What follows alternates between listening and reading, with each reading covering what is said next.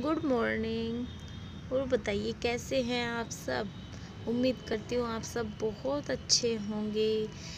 आज कई दिन बाद वीडियो बना रही हूँ, क्योंकि मैं बिज़ी हो गई थी शादी में, लेकिन आज फिर से मैं आ गई हूँ अपने गार्डन में और देखती हूँ कौन कौन से फ्लावर हमारे गार्डन में आज खिले हुए हैं।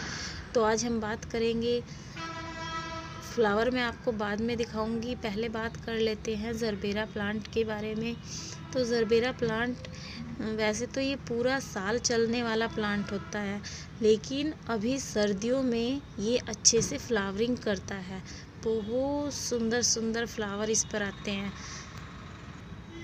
नवंबर से फ्लावरिंग ये स्टार्ट कर देता है और फरवरी तक सॉरी फरवरी, मार्च तक ये अच्छे से फ्लावरिंग करता रहता है। अगर आप इसमें थोड़ी सी केयर करने के बाद बहुत अच्छे से आप इसमें फ्लावरिंग ले सकते हैं फरवरी, मार्च तक।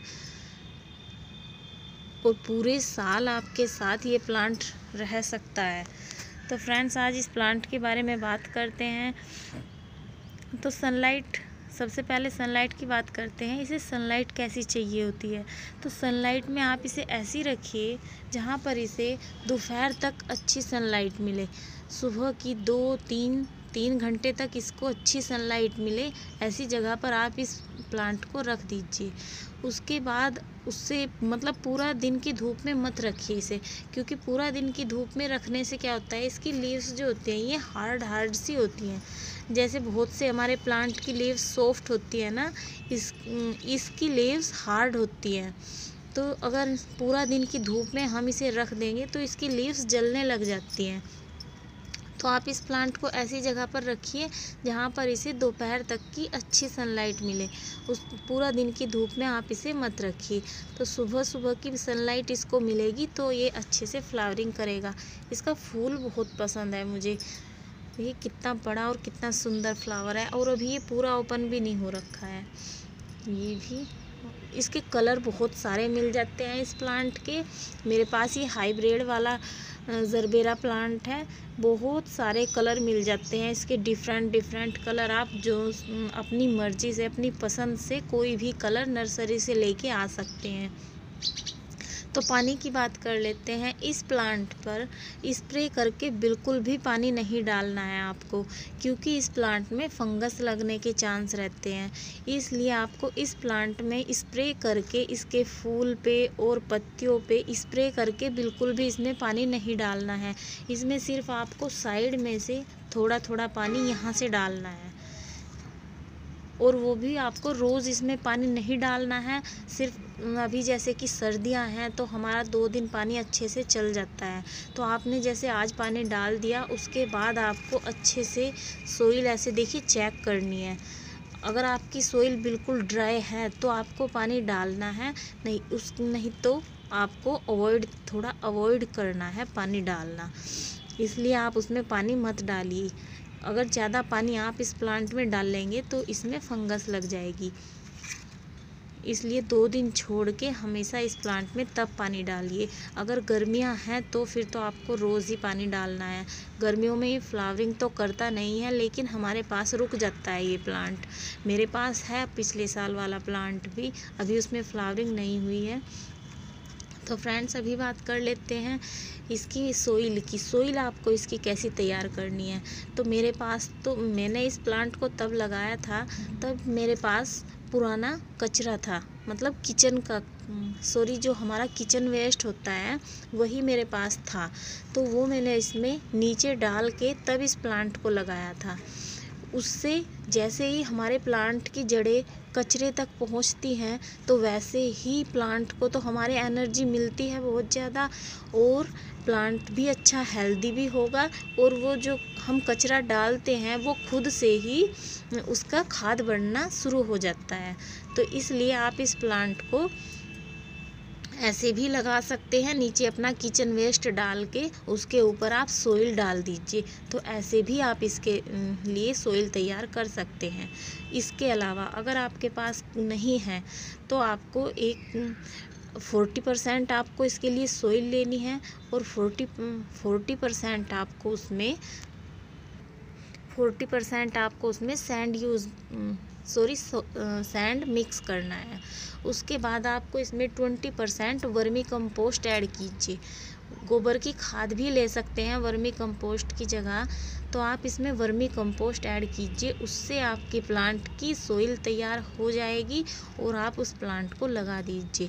तो सबसे पहले आपको ड्रेनेज होल चेक करना है, अपने पोट का तब सोइल डालते हैं हम। तो आपको ड्रेनेज होल तैयार देखना है उसका, आपके पोट का ड्रेनेज होल अच्छा है या नहीं। अगर ड्रेनेज होल अच्छा नहीं होगा तो एक्स्ट्रा पानी नहीं निकल पाएगा। इसलिए आप अपने पोट में ये चेक कीजिए कि आपके पोट का ड्रेनेज होल अच्छा है या नहीं। अगर अच्छा होगा तो उसके ऊपर आप एक ठिकरी रख के तो उस, उसमें सोइल डाल के फिर अपने इस प्लांट को लगा दीजिए। बहुत अच्छी आपके प्लांट की ग्रोथ होगी और अच्छे से फ्लावरिंग आपको करेगा। तो फ्रेंड्स इसका जो फूल होता है, ये देखिए इस तरीके से स्टेम निकलता है इसके फूल का, ये वाला। तो ऐसे स्टेम निकल के तब इसका फूल बनता है ये। ये फूल इतना अच्छा होता है, आपने देखा भी होगा कई जगह पर डेकोरेट के लिए बहुत ज़्यादा यूज़ होता है। अगर आप इसे यहाँ से निकाल के पानी में रख देंगे, अपने कहीं पर भी डेकोरेट के लिए तो वहाँ पर भी ये बहुत अच्छे से कई दिन तक टिक जाता है। ये फ्लावर ऐसा होता है, जल्दी से ख़राब नहीं होता है। कम से कम आठ से दस दिन तक ये फूल, ये वाला फ्लावर देखिए आप इसका। इसे कम से कम मेरे ख्याल से सात से आठ दिन हो गए हैं और अभी तक देखिए ये ऐसा का ऐसा ही है।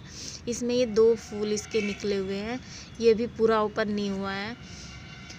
तो अगर आप यहाँ से इसे निकाल के पानी में भी रख दोगे तो वहाँ पर भी ये बहुत अच्छे से फ्लावरिंग ये फूल सॉरी सूख बिल्कुल भी ड्राई नहीं होगा और डेकोरेट के लिए सात से आठ दिन ऐसे का, ऐसे ही आपके पास रखा रहेगा।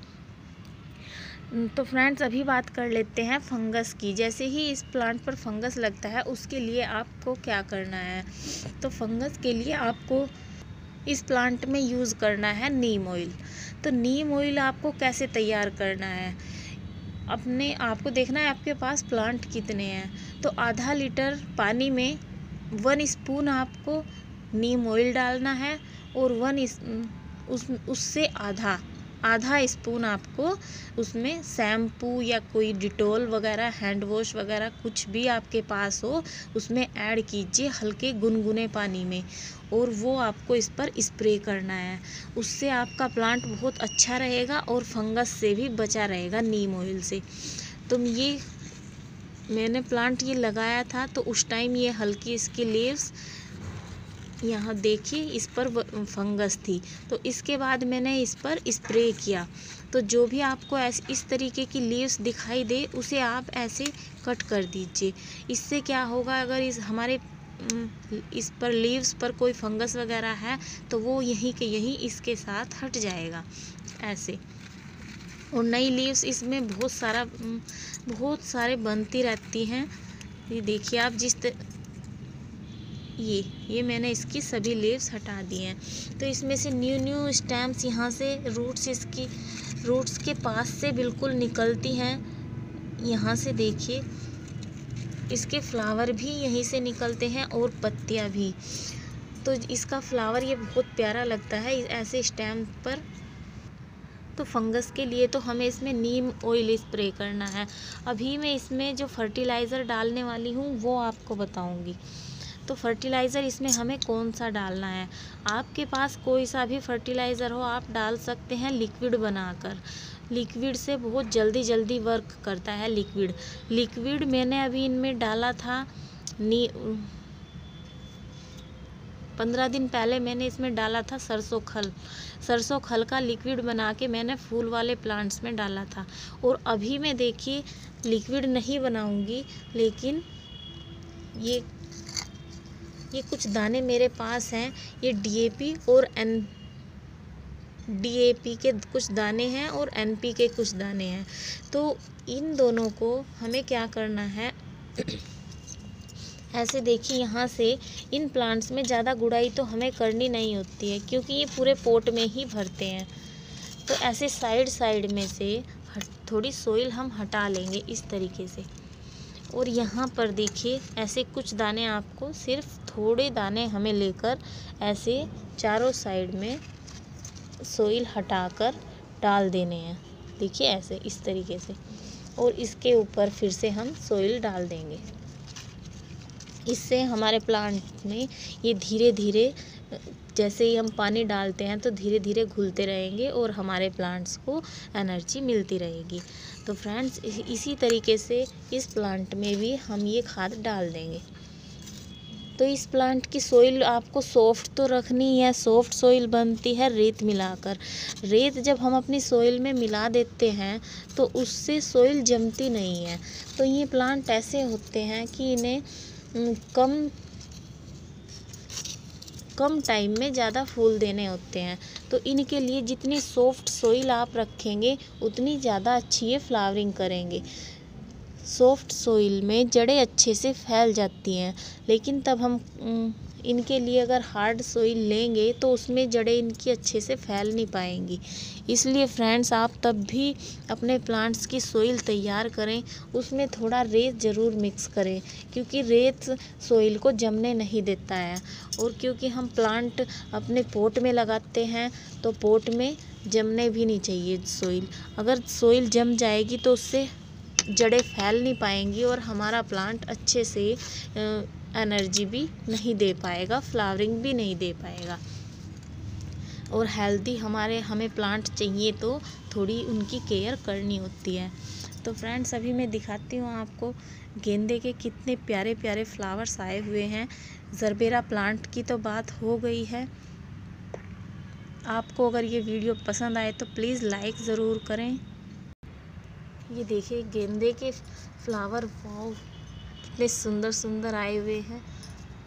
अभी मैं एक दो दिन में ही मैरी गोल्ड पर भी वीडियो बनाऊँगी। आप देखना ज़रूर। तो आज की इस वीडियो में इतना ही, फ्रेंड्स। Bye bye.